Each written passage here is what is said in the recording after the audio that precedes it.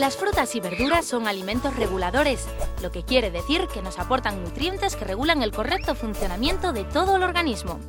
Además, nos ayudan en la lucha contra el sobrepeso y la obesidad y en la prevención de ciertas enfermedades. Deben incorporarse a nuestra alimentación de todos los días. Con dos raciones de verduras será más que suficiente. Cumplir con estas recomendaciones es muy importante para sentar las bases de unos buenos hábitos alimentarios ya desde la infancia.